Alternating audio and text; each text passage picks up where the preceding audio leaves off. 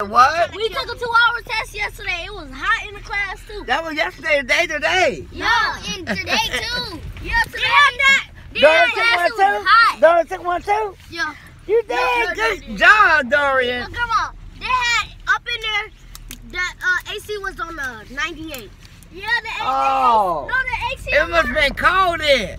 hot. It was hot. Oh, yeah, you sure right, right, right. Right. Mm-hmm. All right, sit back, let's ride.